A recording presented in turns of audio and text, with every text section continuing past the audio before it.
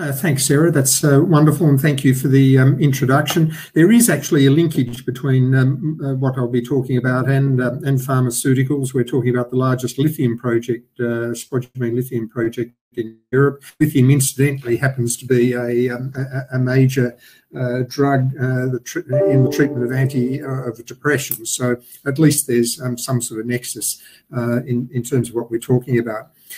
But as Sarah said, uh, we have the largest uh, spodumene lithium project in uh, in Europe, in, in northeast Portugal, and we believe uh, that this project will really uh, be very much the raw material centerpiece for uh, Europe's energy transition as it moves towards the electrification of, of, of, transport.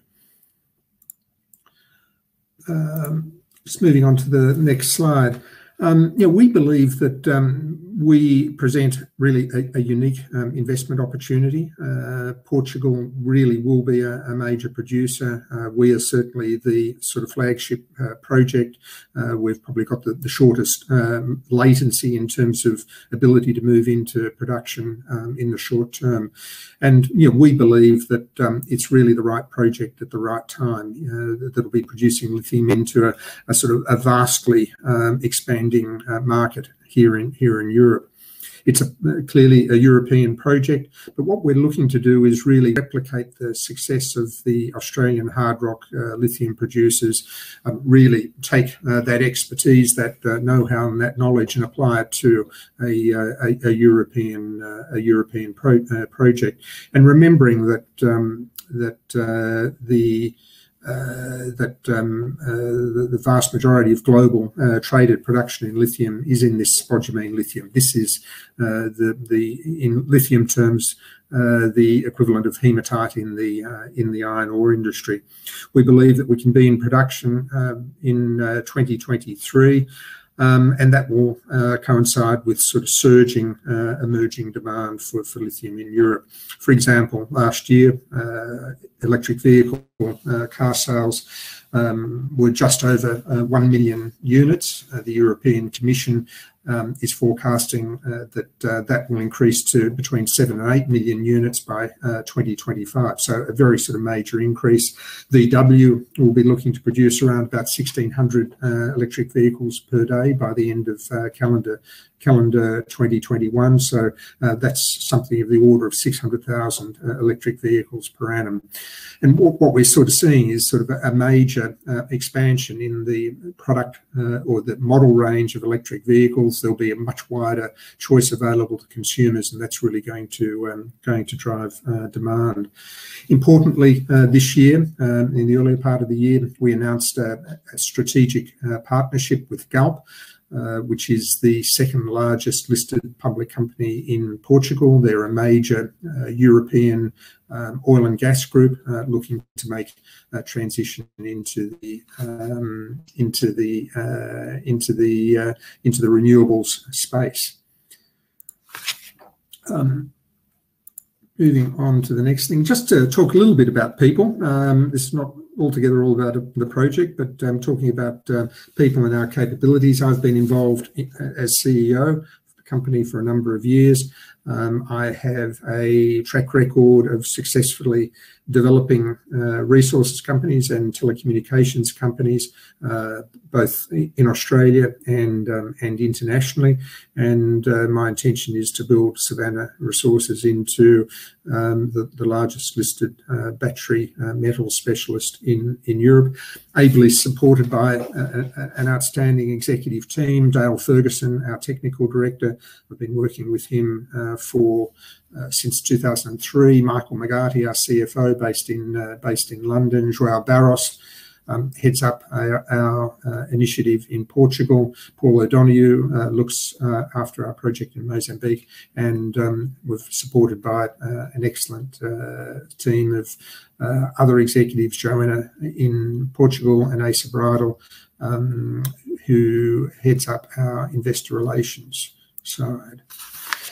Okay, so just talking about the company, um, we've been in existence since 2010. We acquired uh, a 75% interest in Mina de Barroso in uh, 2017 and really had a fantastic run of success. Um, this was really a glint in the eye of um, the board of Savannah in 2017, um, and we rapidly evaluated the project and uh, took it to the point where uh, we now have a, a 27 million tonne resource, the largest resource uh, of spodumene lithium in in Europe. It's very much a conventional mine development in the sense that it's an open cut development and will use uh, well tried and sort of proven processing techniques to produce a, a, spodumene concentrate uh, that, will then be um, used as the raw material feedstock uh, to produce uh, a material called lithium hydroxide, which is used in the production of cathodes, which is the one of the key components in lithium-ion batteries. As I mentioned, we've done the, the deal uh, with Galp, and we're currently negotiating a a full long-term and binding agreement uh, with Galp at the moment.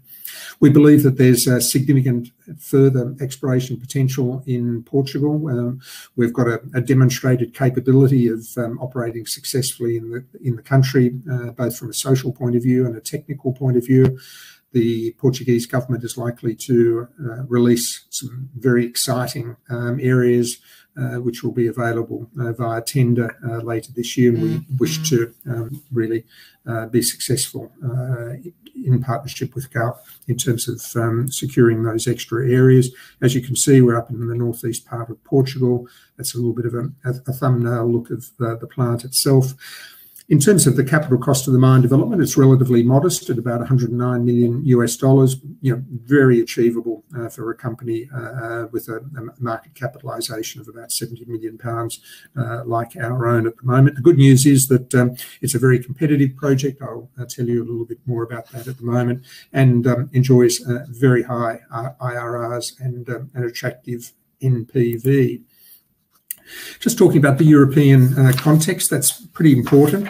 Um, you know, we believe that um, this is uh, the right project in the right geography. We believe that uh, Europe is going to be uh, one of the two largest global powerhouses for uh, consumption of lithium and production of electric vehicles. Um, it'll be a head-to-head -head contest with China.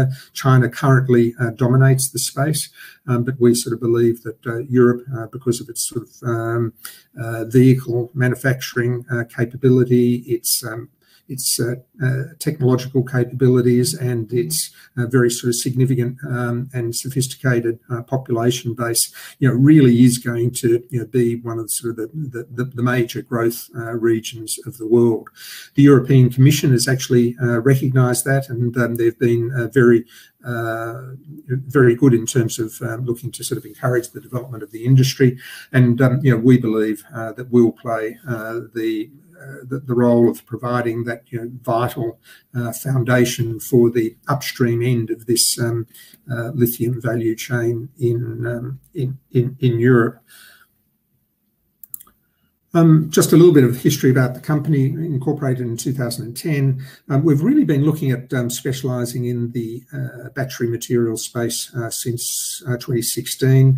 Uh, we hit on Portugal as being the, most promising country, and our hunch, if you like, informed hunch was proved absolutely to be correct. We developed the resource. Uh, we acquired the balance of the 25% of the project in 20, uh, 2019, um, and we've been really doing all of the um, hard yards in terms of um, uh, moving forward on a definitive feasibility study and our environmental studies, and then most recently securing the arrangement with. Um, as Sarah was saying, um, ESG is really a, a core element, um, really in any business these days, but uh, particularly uh, for a uh, mineral production uh, business, and uh, particularly uh, for a mineral production business in um, in Europe. Um, we have designed a project that um, includes no less than 238 um, individual mitigation measures to um, either eliminate or minimise uh, the sort of impact of uh, the project um, in the um, in the local area. Um, we'll be doing all sorts of uh, very good things, um, and some quite innovative things as well, particularly around um, building a network mine. Uh, for example, we'll be able to provide real-time data on uh, key operational environmental characteristics via a mobile app. We've been keen to develop a very sort of comprehensive uh, social and uh social program with a benefit sharing program, uh, a good neighborhood plan, um, and of course, the mine will be uh, sort of a major income generator for the local municipality and will create um, more than 200 full-time jobs and something like 600 um, indirect jobs. Um, we'll be also looking to sort of move the project into the position of uh, uh, carbon uh, neutrality. We're currently sort of talking to some of the major international heavy equipment groups. Um, this particular group is based in Belgium and will be looking to convert the diesel fleet, Uh, both in terms of trucks and um, mining equipment, to either uh, electrical equipment or hydrogen-powered equipment. The good news about um, where we are in northern Portugal is there's an abundance of uh, hydro and wind power. We're looking to use that hydro and wind power to power the mill, the processing plant.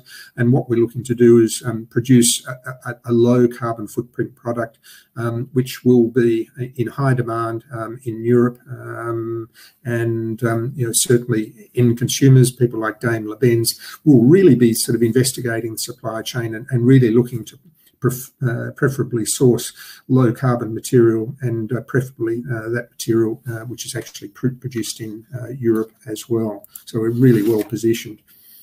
Um, I think one of the uh, sort of the other sort of key points really like to highlight is um, our very competitive uh, cost position. Why is this so? Um, for four main reasons. One is Portugal is uh, inherently a low-cost jurisdiction in which to operate. Our major international competitor is Australia. The average wage in Australia Um, is uh, 58,000 uh, euros. The average wage in uh, Portugal is around about 18,000, but that's for a university graduate. So you can sort of see that costs in Australia are about three times the costs that we will be experiencing in Portugal. Second reason, um, we're producing co-products, not only spodumene, which is the lithium product, but quartz and feldspar, and it's a very deep and flourishing market for those products which go into glass and ceramics in Uh, um, uh, uh, Spain and Portugal. The geometry of the deposit, um, it's at or near surface. It's it's tabular, enjoys a very low stripping ratio, low mine, uh, low cost to produce. And finally, um, and we'll speak to that this in a little while, a very low uh, transport cost because we'll be very close uh, to to end markets. Hence, a very low C1 cash cost of, product, of production. Um, just a few of the financial metrics. Um, we enjoy, um, because of these low costs, some outstanding key uh, financial characteristics in our scoping study uh, that identified a very low, uh, sorry, very high IRR in the high 40%. And that was for a mine life of 11 years. We're currently, with the large resource, looking at a mine life of around about um of around about 15 years. Um, we'll be producing actually around about 200,000 tons of uh, spodumene concentrate per annum, and that could power somewhere between 500,000 and 600,000 uh, electric uh, vehicles per annum. Working hard on our DFS at the moment, and um, we've just gone through one important stage in the approval of our EIA, and we're now in a public consultation stage um, in Portugal with that at the moment. Um, this is just a little bit of a snapshot of the um, project area here. It's about 500 hectares in area. Importantly, it's a granted mining lease. Um, this is um, something that was granted in 2006, has a term of 30 years through to 2036. We're already mining there at the moment for quartz and feldspar. So, um, what we're really looking to do is not something. This is a brownfield uh, project, and really what we're looking at doing is expanding production and and producing a higher value-added uh, raw material product. Um, just very quickly, this graph really sort of illustrates the um, very sort of fast um, and uh, northerly projection in terms of increase in the overall uh, mineral resource at Mina de Barroso. We believe that we can reasonably target an overall resource of 50 million tons, uh, which will Uh, be a resource inventory uh, that will really be able to support a long life project and um, uh, long-term value-adding activities in um, Portugal. Um, this just is a little sketch of the mine itself, conventional development. We've deliberately developed a mine Uh, that sort of minimizes the um, impact on local communities. For example, the plant itself will be built at the bottom of a valley, uh, which means it'll be inaudible and invisible uh, to local local residents. We're putting in a Uh, bypass road, which will also eliminate uh, traffic from uh, local villages. Importantly, just on the corporate side, Galp is um, our partner. We've got a heads of agreement with them at the moment that we're negotiating to convert into a legally binding agreement. There were sort of really key elements to this. One was investment. They're going to acquire a 10% interest in the project for 6.4 million, really last year's price, um, based around our then market capitalization. Secondly, they'll be uh, looking to take uh, 50% of our product, um, and um, we'll be looking to sell the balance of the product in the uh, in the European market. And um, I suppose the other key element, of course, is the fact that um, they're Portuguese, um, and uh, a household name. Every second petrol station in um, in Portugal is a Galp petrol station. This is really a key slide. And really what it means is that shows that we're about 140 kilometres from the port of Leixões. Um, it uh, gives us access to Northern European ports. Um, there's been um, speculation in the press about uh, the potential for a refinery to be located in Portugal, and sort of clearly, you know, our material um, could be could play a very important part in that. Um, we've got lots of uh, renewable energy and um, uh, you know, we're in the in warm embrace of uh, Europe, which is going to be the sort of major production area for lithium in Europe. Just quickly, in terms of some of the targets, we're sort of clearly sort of looking to complete our DFS this year. All going well, receive our EIA approval. We've got a number of uh, programs underway in terms of some of the community programs. Next year, we'll be looking to um, um, make our final investment decision following uh, financing of the mine development. Um, we're looking at some other opportunities in the Iberian Peninsula as well, and we'll be moving into uh, construction and looking to complete construction in 2023 and uh, commission and uh, move to full nameplate capacity at that time. Um, just sort of quickly, um, just around um, some of the investment metrics. We will be one of the largest producers of lithium in Europe, the uh, left-hand table. Um, we still um, enjoy, and here's the opportunity for uh, those who are tuning into this. We uh, have a very low uh, market cap, which we believe will sort of improve as um, the strategic importance of Mina de Barroso becomes more apparent. It's interesting to see increased corporate activity in the global industry. In fact, only today, Ganfeng, the major Chinese producer, announced a takeover for Bacanora. But really more importantly for shareholders is the fact we can make real money from this project that um, enjoys um, really very strong uh, post-tax IRRs. So, in summary, you know, we believe it's the right project at the right time. Uh, a vastly expanding market uh, for electric vehicles and for and for lithium. Um, we believe that it is the most shovel-ready of the potential lithium projects in Europe. Um, it will be a low carbon uh, producer of lithium. We believe that uh, our provenance, being a European material, um, will mean that it will be a premium product, will enjoy a premium over the uh, Australian uh, competitors. And we believe it's just a compelling value opportunity in really a market sector that's um, undergoing dramatic growth, and that that growth is will be a multi-decade uh multi-decade feature. Um, That's the conclusion of my presentation, hopefully within the 20-minute limit.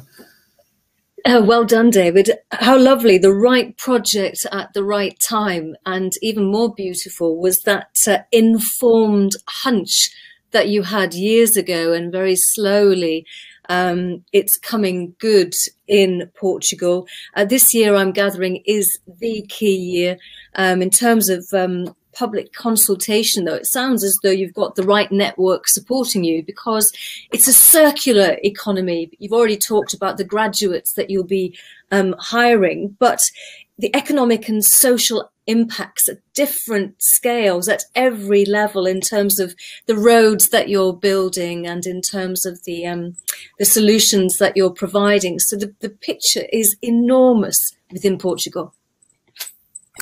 Yeah, and, and certainly there's a real emphasis on our part on, um, as you mentioned uh, at the beginning, um, green and smart mining. You know, we, we think we've designed a, uh, a project that really addresses um, any sort of potential issues. Uh, we've demonstrated, you know, real intent uh, to do something uh, very unusual and uh, and very responsible. Um, everyone talks about sustainability, but I think it's all about responsibility. You know, we we regard uh, the opportunity to develop Mina de Barroso um, as a um, as a great honour, and um, you know we want to honour that uh, with the uh, with the community and uh, and with the people of uh, people of Portugal. So it's a it's a it's a key and um, you know vital um, element to the successful development of the of the project. So clearly, you know, there will be a, um, a, whole range of benefits that will flow through. Um, this particular region of Portugal um, has been suffering from a population decline, which is um, something that's sort of broadly um, being experienced in the Iberian Peninsula. And we believe that um, this mine will be able to reverse uh, that uh, feature uh, for this particular sort of part of the world. And, and it will actually uh, allow uh, families to reunite because so many young people have had to leave the region to secure jobs. They'll be able to return. And of course, mining uh, these days is really all about uh, professionals and professional capabilities. So, you know, these will be um, uh, really career positions and uh, people will be able to be paid well and um, enjoy the, the benefits of living in, in, a, in a low cost and uh, attractive uh, country setting. Okay, so it's the second incidence of corporate compassion that we've been hearing about tonight. But I'm just wondering how frustrated you are at the pace of the project because Bernard Moore, he's saying in early January, uh, GALP due diligence was expected to take two to three months. It's now May. When are you expecting this to be completed? Um, well, it's going to take um, as long as it uh, as as long as it takes. Um, you know, the the negotiations uh, ongoing, and um, you know, Galp is a large company, we're a small company, and um, we're just sort of building that fit um, at the moment. Uh, but there's a real intent on the part of uh, Galp to move you very uh, seriously into the into the energy transition space. Um, that's you know very much a corporate imperative, and um, they're Portuguese. Uh, they see the opportunities um, in the lithium value chain, both for themselves and for Portugal. And you know they have a, a very sort of significant uh, sort of corporate commitment to the, the well-being of um, uh, of their of, uh, of Portugal. So, you know, we're very much in alignment and, um, you know, we're excited about, um, you know, some of the plans uh, of, of GALPS and, um, you know, we believe that um, uh, it's uh, very much a, uh, a, um, a, relationship which will bring strong alignment. Okay, I'm wondering if the financiers are in alignment with you, though, because I know that you're making preparations for funding, um, possibly a range of differing finance providers, a blended uh, financing package. John Zadkovich says, where will the 109 million US dollars capex come from, and in what debt equity percentage? Right. Well, you know, it's probably around about 50 to 50 to 60 percent, uh, and remembering that uh, Galp uh, will be picking up 10 uh, percent of that um, because of their 10 percent shareholding in the project. Um, we're looking at sort of securing uh, grants. Uh, we've got a, a, current grant application on foot in Portugal at the moment for 20 million euros.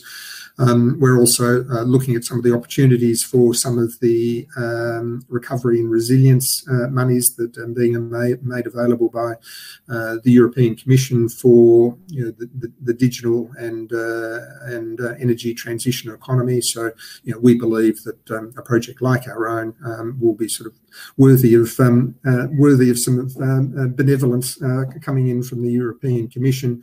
Um, so further debt, uh, those sort of equity components that could come from uh, government grants at uh, both national and the EU level, and um, you know, potentially an equity capital raise. I think that the good news is we've seen very sort of significant support from the international equ equity capital markets for funding for the developments of new lithium mines, and and really the real problem is there are not enough um, there's not enough lithium production. So you know we're we've seen uh, lithium prices, uh, spodumene prices move up from about 350 US dollars a ton uh, in 20 in 2020 up to the point now where they're approaching 700 US dollars a ton. They've almost doubled, um, and most industry forecasters are suggesting that there's, you know, really a very problematic production deficit that will start become particularly um, apparent in uh, in the mid 2020s, and of course that's exactly uh, when we will be in production. So um, you know we think we're you know very very well placed. So, in terms of timelines to production, let's pick up on John's uh, second question, which is production is stated to be in 2023, less than two years' time away. In what volumes and in which quarter or half? Um, well, um, yeah, we're going to do is uh, uh, bring it into production as fast as we can. Sort of clearly, uh, there are some third-party variables in, in, all of that uh, over which we don't have any sort of control. Um, so it's, you know, I think it's probably, um, I think everyone would understand. No point in being, you know, way too uh, specific. But um, our uh, best um, forecast is 2023. Okay, now I know we didn't get to um, Mozambique, but you do have some investors who know your story quite well. It's it's a, an opportune moment to tell um, investors that you do have um, other interests as well. Um, so, in terms of um, Mozambique, you've got um, others, some investors feeling quite worried for safety. David Lucy is saying at recent events in Mozambique, ISIS kicking up. Impact on your operations, if any? Uh, uh, short answer is no. Um, the the troubles in uh, Cabo Delgado are about I think it's over 2,000 kilometers away. So, um, you know, I think it's something like the distance between Paris and um, and Moscow. Um, so um, um, it's it's it's a fair way. Um, so uh, yeah, certainly that's not really impacting on things uh, at all. Um, you know, it's been a, uh, pretty tough 12 months for Mozambique, uh, certainly because of the troubles in the north. Clearly, um, COVID's been impacting them as well. And um, yeah, but we believe that um, we've got a great project.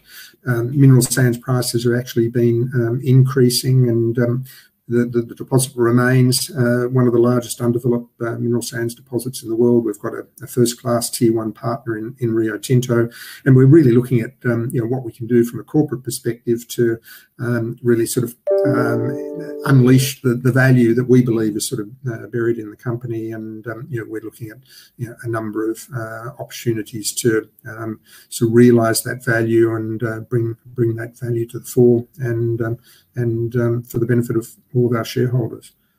Okay, but will Mozambique, the, the project there, be left in the sand for just a little while? Because it sounds as though, well, this presentation was all about Portugal. So is your entire focus on reaching that production timeline of 2023 in Portugal, and then you can return to Mozambique? Sure. Yeah. Exactly. Uh, exactly. So it's really one of uh, we've got two projects in the pipeline. Sort of clearly, um, uh, de Barroso is um, way in front in terms of um, being in production, and sort of clearly uh, Mozambique will will be um, sort of moving uh, towards development um, after after that. But um, you know, we're just looking to see, you know, what we can best do uh, with the project. You know, really, we want to focus on being uh, Europe's major uh, battery metals raw materials supplier. Okay, one final question from David Benning. It's quite academic, but I don't want an academic uh, full answer, David. Um, Thank you for your presentation. Could you talk about the advantage of hard rock lithium mining um, versus the brine projects in the lithium triangle? I'm just going to broadcast that one to the room. Um, if you're not able to answer it, then it's okay. But there you've got someone salivating about the bigger picture. Sure. Uh, well, I think that the interesting thing is that um, um, Australia has really come from the back of the pack over almost nothing much more than about a five-year period, and uh, sort of demonstrated the the ability to move hard, you know conventional hard rock uh, mines into develop into development you know relatively quickly in mining industry terms, but.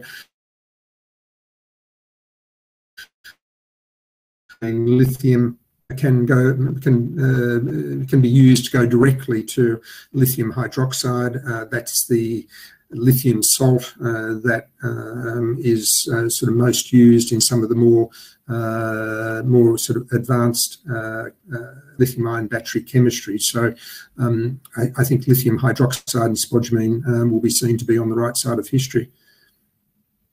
And with that, we will end this presentation from you. David Archer, Chief Executive of Savannah Resources. Thank you very much indeed. Really appreciate it.